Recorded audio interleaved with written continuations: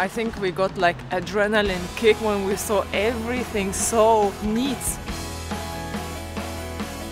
It's really, really good. Oh my god.